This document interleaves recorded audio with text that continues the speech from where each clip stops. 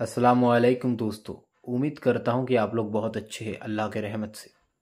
आज मैं आपको बताने जा रहा हूँ, जो कि मैं रिसर्च किया हूँ, अबाउट कुरान करीम के बारे में।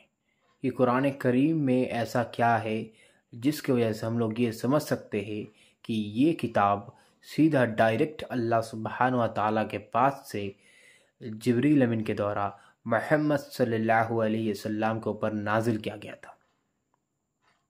इसमें ऐसे बहुत सारी चीज़ें हैं। मैं बस आपको वही चीज़ बताने जा रहा हूँ, जो कि मैं इस किताब से मुझे मिला है। मैं रिसर्च किया हूँ और वो सारे वर्सेस ताकि आपको कल कोई गैर मुस्लिम कोई नॉन मुस्लिम या कोई मुस्लिम क्वेश्चन करे तो आप उसका जवाब सही से दे पाए। इस वीडियो में मैं जो भी आपको इन्फॉर्मेशन प्रोवाइड करूँगा, मैं आपसे रिक्वेस्ट करूँगा कि आप उन रेफरेंस को कहीं पे लिख लीजिए ताकि आपको बाद में पता करे और आप इन रेफरेंस को ज़रूर पढ़िएगा ताकि आपको भी नॉलेज गेन हो पाए। क्योंकि मेरा वीडियो बनाने का मकसद यही है कि मैंने जो सीखे हैं कुरान करीम से, जो मुझे मिला है, मैं वही चीज़ आपको बता रहा हूँ ताकि आपको भी पता चले कि कुरान करीम में क्या है और क्या क्या लिखा गया है। और एज ए मुसलमान, मैं ये मानता हूँ कि जो भी मैं जानता हूँ, जो भी मैं कुरान से और सही हदीस से इस्लाम के रिगार्डिंग मुझे मिलता है, मुझे उसको शेयर करना होगा। मुझे उसको लोगों के पास स्प्रेड करना होगा। तो आप लोग भी प्लीज़ इस वीडियो को ज़रूर सबसे स्प्रेड कीजिएगा और शेयर ज़रूर कीजिएगा, ताकि ये मैसेज, कुरान का ये मैसेज सबके पास पहुँच सके। शुरू करते हैं अल्लाह के नाम से। कुरान करीम को ही हम लोग क्यों माने? दोस्तों, इस दुनिया में करीबन चार हज़ार से भी ज़्यादा रिलीजन है। और हर रिलीजन के पास लगभग उनके अपना अपना किताबें हैं। जैसे बुद्धिस्ट के पास है क्रिश्चियंस के पास है हिंदूज के पास है, हम मुसलमान के पास भी है सिखों के पास भी है। किसी के पास एक है तो किसी के पास बहुत सारे हैं।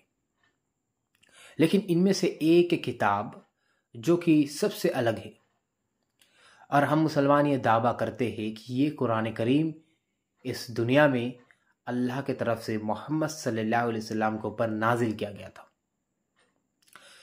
तो आज हम जानेंगे कि क्या सिर्फ़ यही किताब था पहले कि अल्लाह सुबहान ताला ने बस हमारे इंसानों के लिए भेजे हैं कि इससे पहले भी कोई किताब भेजे थे अल्लाह सुबहान ताला ने? अल्लाह सुबहान ताला ने कुरान करीम में सूरा number three verse number three में फरमाते हैं he has sent down upon you O Muhammad वसल्लम the book in truth confirming what was before it, and he revealed the Torah and the gospel. अल्लाह सुबहान तला यहाँ पे साफ़ साफ़ फरमाते हैं कि अल्लाह सुबहान तला पिछले मतलब प्रीवियस मैसेंजर्स के पास तौरा एंड गॉस्पेल भेजा था। ये भी अल्लाह की तरफ़ से आया हुआ किताबें थे, जो कि उस दौर के मैसेंजर के ऊपर नाजिल किया गया था। और इसके बाद अल्लाह सुबहाना ताला कुरान करीम में सूर्य नंबर 15 वर्स नंबर 9 में फरमाते हैं कि indeed it is who sorry indeed it is we who sent down the Quran and indeed we will be its guardian अल्लाह सुबहान ताला कुरान करीम में ये साफ़ साफ़ फरमाते हैं कि कुरान करीम को मैंने ही नाजिल किया है और इस कुरान करीम के गार्जियन भी मैं ही हूँ। तो अल्लाह सुबहान तला खुद ही इसका हिफाजत करने के लिए रख लिया अपने पास। ज़िम्मेदारी। अल्लाह सुबहान तला ने कुरान करीम में सूर्य number two, words number two में फरमाते हैं कि this is the book about which there is no doubt a guidance for those Kansi conscious of Allah ये बुक में कोई भी डाउट नहीं है कुरान करीम के अंदर। अल्लाह सुबहाना तला कुरान करीम में फरमाते हैं, आज तक दुनिया में ऐसा कोई भी राइटर नहीं है जो कि अपना बुक लिखे है, किताब लिखे है और वहाँ पे ये लाइन लिख पाए है कि मेरा जो किताब मैं लिख रहा हूँ, इसमें कोई भी डाउट नहीं है। बस एक ही किताब है जिसमें ये लिखा गया है, वो है कुरान करीम। इवन आप अगर हिंदू धर्म में चले जाए या फिर चले जाए क्रिश्चियनिटी में, वहाँ पे बहुत सारे कॉन्ट्रोडिक्शन मिल पाएगा आपको। और वो लोग आपको खुद ही बता देगा कि इसमें मिलावट हुई है। लेकिन अल्लाह सुबहान तला ने इस किताब का ज़िम्मेदारी, इस किताब का ज़िम्मेदारी खुद लिया है कि इसका हिफाजत अल्लाह सुबहान तला खुद करेगा। और अल्लाह सुबहान तला खुद फरमाते हैं कि इसमें कोई भी डाउट नहीं है। बेशक उसमें क्या डाउट हो सकता है जिसका ज़िम्मेदारी अल्लाह सुबहान तला खुद लिया है हिफाजत करने का।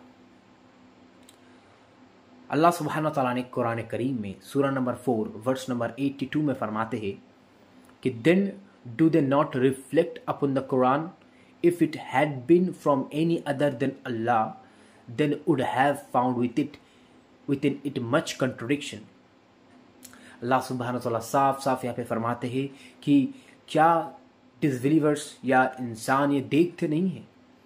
कि अगर अल्लाह के अलावा ये कुरान किसी और के पास से आया होता तो इसमें बहुत सारे कॉन्ट्रोडिक्शन मिलते।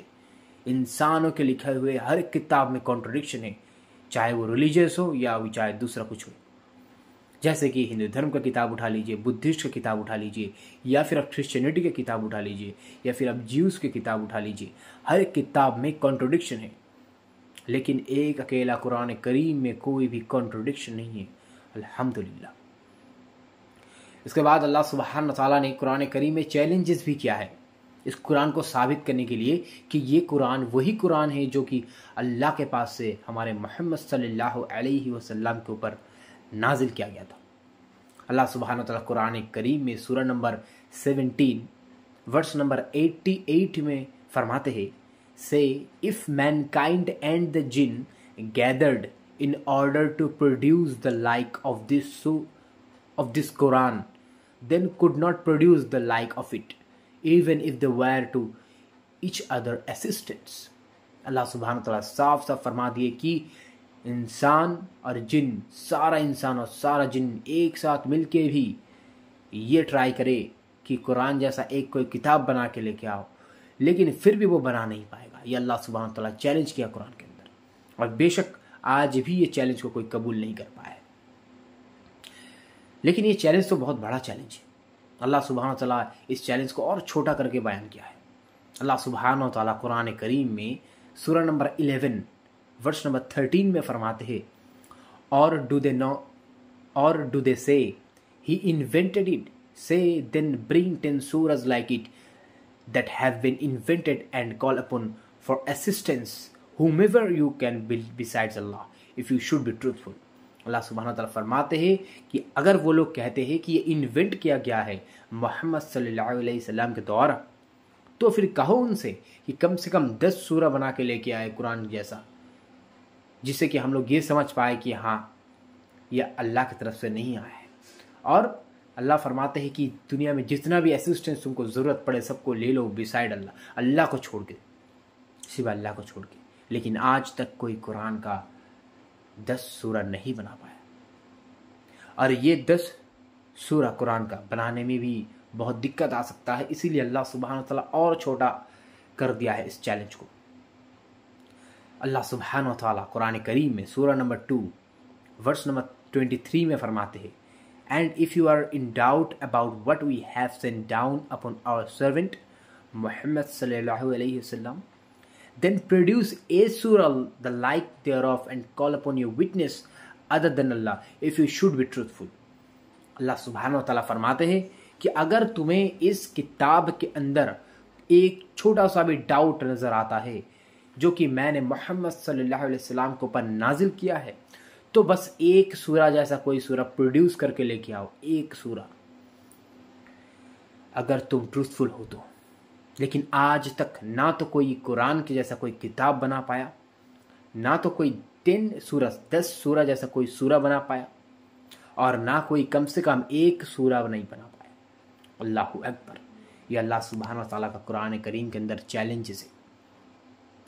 तो ये सारे चीज़ हम लोगों को ये इंडिकेट करता है, ये किताब अल्लाह सुबहान ताला की तरफ़ से वन ट्रू गॉड की तरफ़ से, वो वन ट्रू मैसेंजर के पास आया है, मोहम्मद वसल्लम के ऊपर। नाजिल किया अल्लाह सुबहान और इसके अलावा भी अल्लाह सुबहान तला कुरान में बिग बैंग थ्योरी के बारे में बिग क्रंच थ्योरी के बारे में ओसनिक डिविजन के बारे में आयरन विद इन मेटो मेटेटोरिट्स के बारे में, और भी पेन रिसेप्टर्स के बारे में द फ्रंटल लॉब के बारे में, बहुत कुछ चीज़ के बारे में बताया है, जो कि हम लोगों को जानना ज़रूरी है, और मैं जो ये सब चीज़ें रिसर्च करके मुझे मिला है, मैं ये जान रहा हूँ, और आपको ये बता पा रहा हूँ। इससे क्या होगा, मेरा भी नॉलेज गेन होगा, और आपका भी नॉलेज गेन होगा। मैं भी थोड़ा बहुत इस्लाम का खिदमत कर पाऊँगा, अल्लाह जितना करवा पाए, और आप भी इस वीडियो को शेयर करके और ये सारे जो मैंने आपको बताया है रेफरेंसेस सारे रेफरेंसेस पढ़ के, आपको भी थोड़ा इससे ज्ञान मिलेगा और आप भी इस्लाम की थोड़ा खिदमत कर पाएँगे इन आशा करता हूँ वीडियो आपको अच्छा लगा और आने वाले नेक्स्ट वीडियो में कुरान के बारे में जो जो साइंस के रिगार्डिंग बताया गया है, उसके ऊपर हम लोग बात करेंगे इन चलिए मिलते हैं नेक्स्ट वीडियो में दोस्तों।